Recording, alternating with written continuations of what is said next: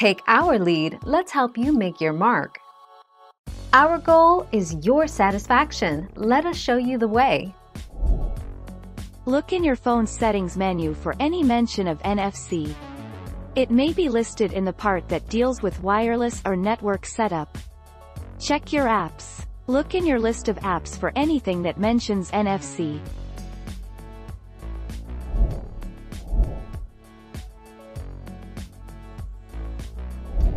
Make your mark, take our lead. Checking NFC support natively go to Settings. Under Wireless and Networks, tap on More. Here, you will see an option for NFC, if your phone supports it. If the option isn't there, your phone does not have NFC capabilities.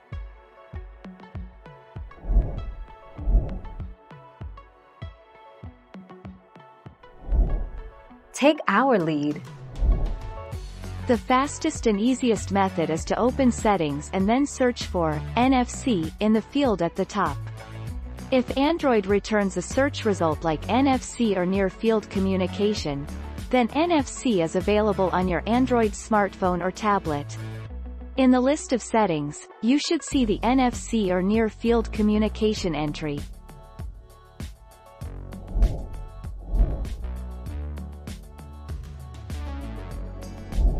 Make your mark, take our lead. Near Field Communication, NFC, enables devices within a few centimeters of each other to exchange information wirelessly.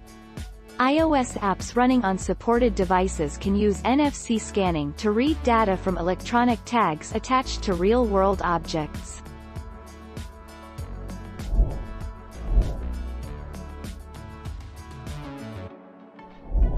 Make your mark, take our lead. If your card has the contactless icon below, it is NFC capable. The easiest way to check if your device has NFC capability is to look for the small NFC tile in your quick settings menu. Otherwise go to settings and verify if NFC is among the other connectivity options like Wi-Fi or Bluetooth. Thank you for watching. Please subscribe and hit the bell notification.